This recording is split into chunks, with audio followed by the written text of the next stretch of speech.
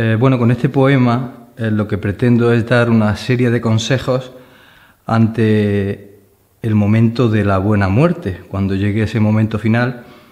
eh, en el que nos vamos a despedir y doy una serie de consejos que no solamente son para los demás, sino también serán para mí.